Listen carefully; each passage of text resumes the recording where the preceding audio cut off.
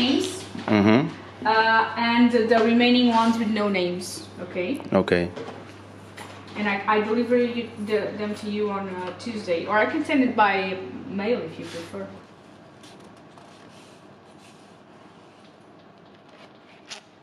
Beautiful.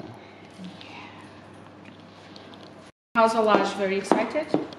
Uh, the extra cards that we have.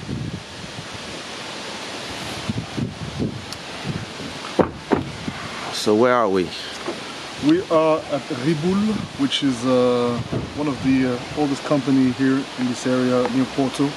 They make my uh, made-to-measure shirts, Okay. and we're here for you, making yours, Ooh. getting you into that uh, bespoke type of vibe. You know how to do. Alright. I guess. But yeah, we're here to do my uh, wedding shirts. So we are near Porto. We are uh, uh, two hours away from Lisbon. And uh, I'm gonna take my measures and do my shirts.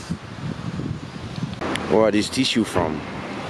Well, this is part of my uh, well uh, ambassador deal with um, Blisco, Mm-hmm.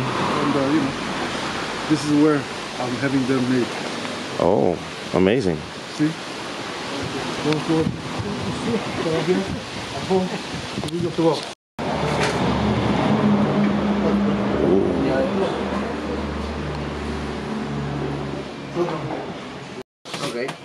Mais j'ai c'est plus de 6 mètres hein, je crois par tissu. Demandé à quelqu'un